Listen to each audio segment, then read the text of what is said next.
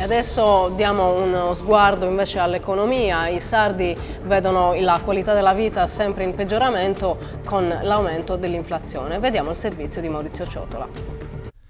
La capacità di spesa degli italiani si sta riducendo sempre di più, la causa è l'inflazione che sembra essere ritornata a due cifre come non la vedevamo dai primi anni Ottanta. Da Crax in poi non vi è mai più stato un livello così alto dell'inflazione e una bassa capacità di spesa dei cittadini italiani. Dopo anni di deflazione e equilibrio borderline siamo in piena discesa verso il baratro cui non sarà l'economia di guerra a salvarci. E ovviamente laddove, come in Sardegna, il reddito medio era già ben al di sotto della media nazionale, una riduzione della capacità di spesa porterà a un ulteriore impoverimento.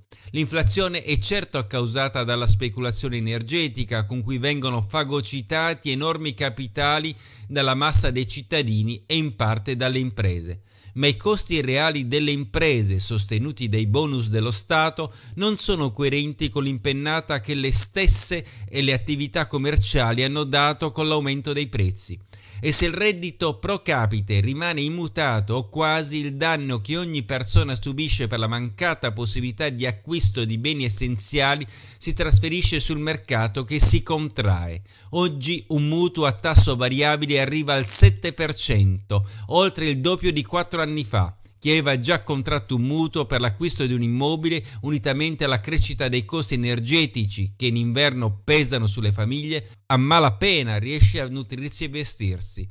Se poi vi sono i figli che studiano, le condizioni peggiorano in misura pesante. I poveri non sono diminuiti, la povertà non è stata abolita, il lavoro non è evoluto e il ritardo di una transizione culturale, in Sardegna come nel paese, ci sta trascinando verso una povertà irreversibile.